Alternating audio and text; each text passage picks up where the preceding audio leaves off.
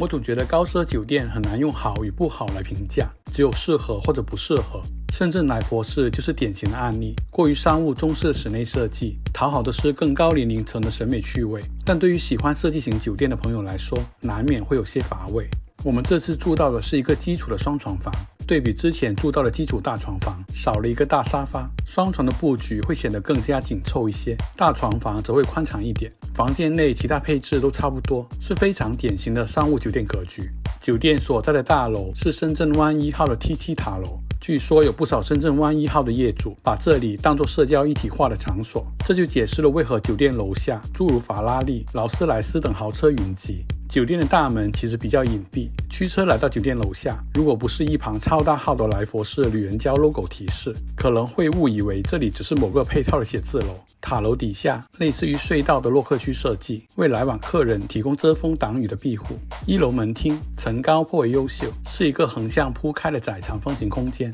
礼宾的服装相当的隆重，进门第一印象确实有奢华酒店那种气度不凡。三十四层是酒店的大堂，电梯出来，一个无论来多少次都看不懂的雕塑纳入眼帘。大堂区域有多位管家严阵以待，他们会引导你到前台办理入住、帮按电梯等，与一楼门厅差不多。三十四楼的空中大堂依旧是一个高层高但进深比较窄的空间，一侧是吃早餐的地方星空坊，另一侧是前台区域。画面中这块发出悠悠绿光，有点像薄荷糖的艺术品，是艺术家苏孝柏的作品。电梯按键做出了一种玉环的美感。酒店泳池与酒店的总体设计一样，奢华之余，更多还是突出一个稳妥与实用性。形状方正，采光优秀，水温适宜，是一个不会出错的酒店泳池。健身房配有全系泰洛键，早餐种类颇多，蛋档能现做班尼迪克蛋，提供现榨果汁，总体是符合奢华酒店的定位的。总的来说，莱佛士一直的定位对标是丽思、瑞吉之类的老牌酒店，